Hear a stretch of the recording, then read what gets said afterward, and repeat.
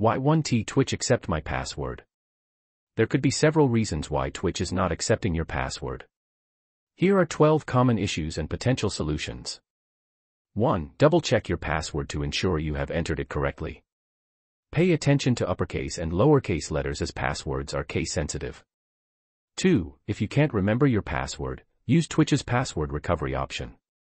Provide the email address associated with your Twitch account to receive a password reset link. 3. Verify that your password meets Twitch's requirements, such as minimum length and complexity.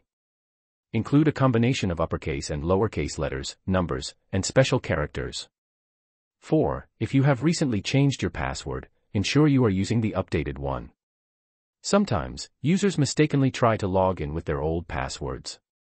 5. Make sure your internet connection is stable. A weak or intermittent connection could prevent the password from being transmitted correctly. 6. Clear your browser cache and cookies, as they can sometimes interfere with the login process. 7. Check if your account has been suspended or banned. If this is the case, you may not be able to log in. Contact Twitch support to inquire about your account status. 8. Be cautious of any third-party apps or services claiming to enhance your Twitch experience.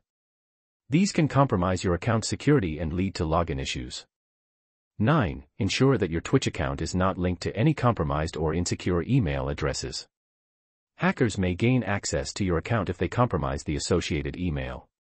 10. Try logging in from a different device or browser to eliminate any local issues that may be preventing password acceptance.